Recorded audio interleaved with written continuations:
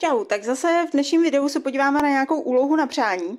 Byla tady prozba, ať vyřeším úlohu 6, vlastně z termínu 2023. Je to sice zase na šestiletý Gimple, ale něco podobného se objevovalo i vlastně v přijímačkách na čtyřletý obory.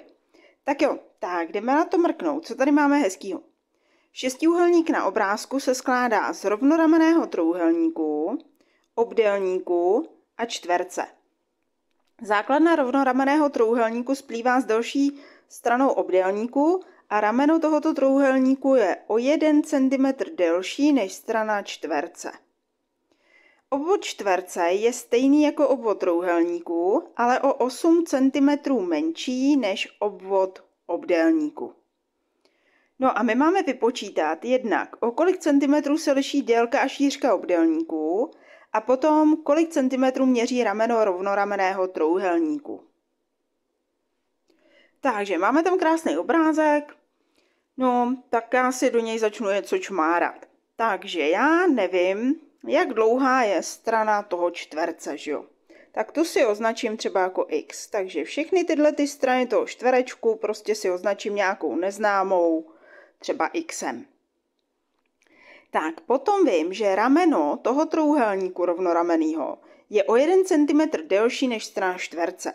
Takže když strana čtverce měří nějakých x cm, tak délka toho ramene je x plus 1.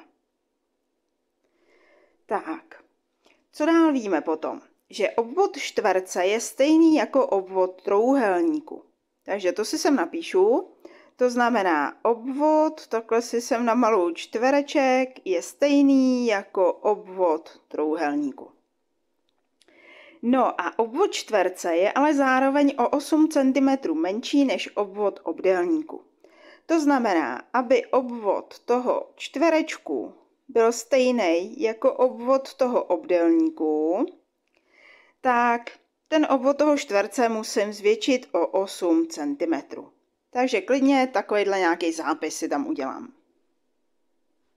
Tak, no a já mám teda nejdřív zjistit, o kolik centimetrů se liší délka a šířka obdélníku. To znamená, potřebuji zjistit tenhle rozměr a tenhle rozměr. Tak, no já vím, že ta kratší strana toho obdélníku tam měří vlastně nějakých x centimetrů, že jo? Ta je stejně dlouhá jako strana toho čtverce. Tak a teďka, když si uvědomím, že obvod toho obdélníku je o 8 cm větší než obvod čtverce a obvod je co? No obvod je, že sečtu takhle všechny čtyři strany toho obdélníku nebo všechny čtyři strany toho čtverce. Jo? No a teďka, když vidím, že ten obdélník má tyhle ty dvě strany stejně dlouhý, jako je strana čtverce,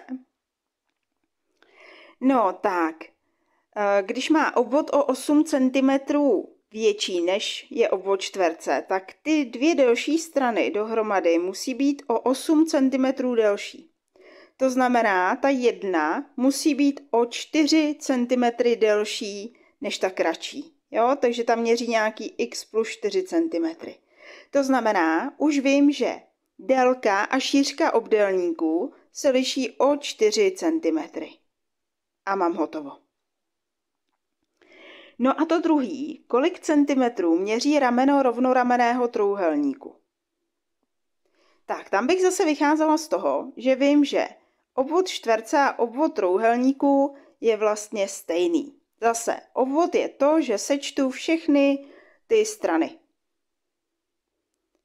Tak, já udělám asi jednu věc, já si to tady přemaluju, jo, protože ten náčrtek už mám takový ošklivý.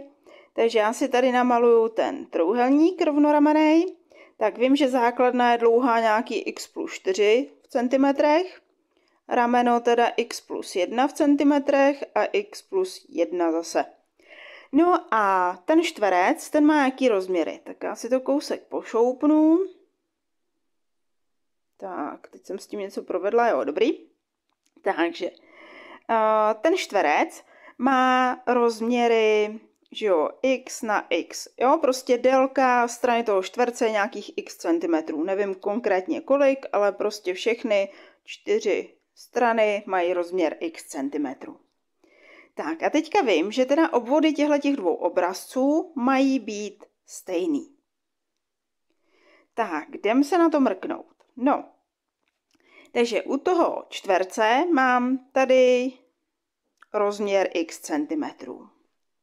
Tak u toho trouhelníčku tady vidím taky, že to je x centimetrů, ale plus ještě nějaký 4 navíc.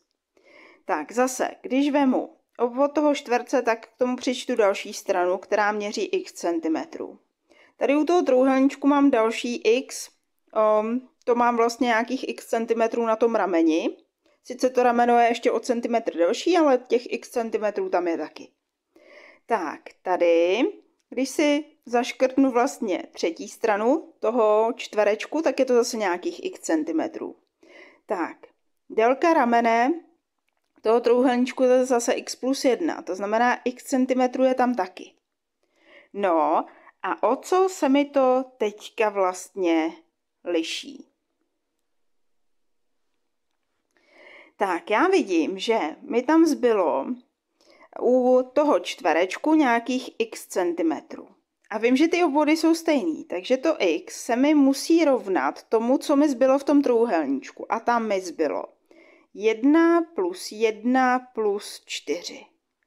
Takže z tohohle mi vyjde, že to x je vlastně nějakých 6 cm.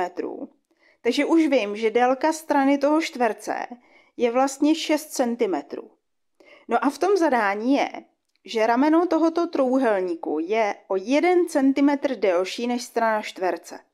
Takže když to rameno je o 1 cm delší, tak měří 6 plus 1, to znamená nějakých 7 cm. Takže 6 jednička mi vyšla o 4 cm, 6 dvojka 7 cm.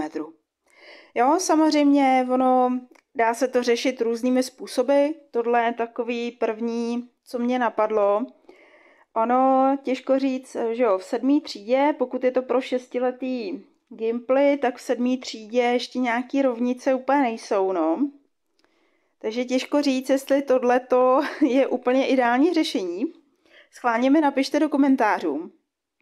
Ten, kdo je teprve v sedmice, jestli uh, byste to řešili nějakým jiným způsobem.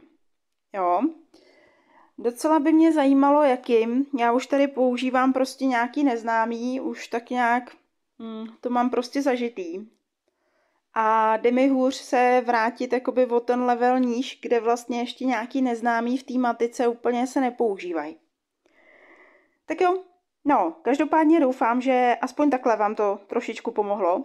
Pokud jo, budu ráda za nějaký like, koment, sdílení, už to znáte.